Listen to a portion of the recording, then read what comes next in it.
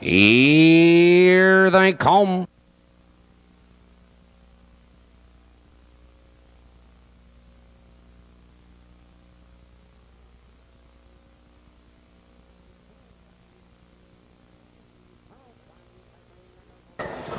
Fan pacing the goes and Charles between horses Rave Along and Charlie Harrell. Into the turn they race and Lyndon Charles as the lead now by two lengths Charlie Harrell. In second, two lengths Rave Along. Third now on the inside, outside that's Admiral Luca. Followed by Glenfern Pride. It's famous skipper followed by Uncle Murph.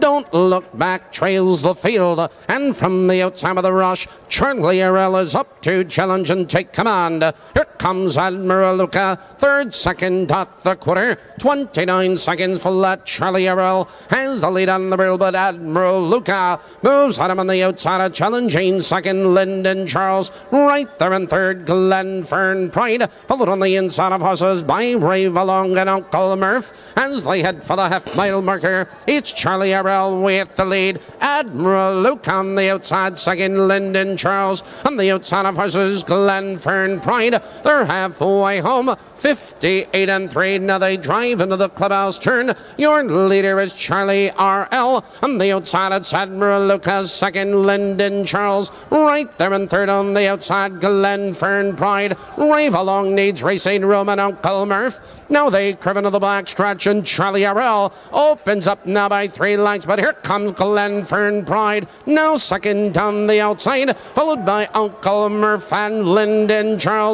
They're driving by the three quarter mile mark. Your leader is Charlie R.L. But here comes Glenfern Pride. He splits horses second. On the outside, Uncle Murph three wide. Followed on the inside by Rave Along. But around the turn, your leader Charlie R.L. Here they come turning for home and Charlie R.L. has the lead on the rail on the outside. It's Uncle Murph. On the inside of horses, Glenfern Pride. It's Charlie R.L. with the lead. It is Charlie R.L. at the wire.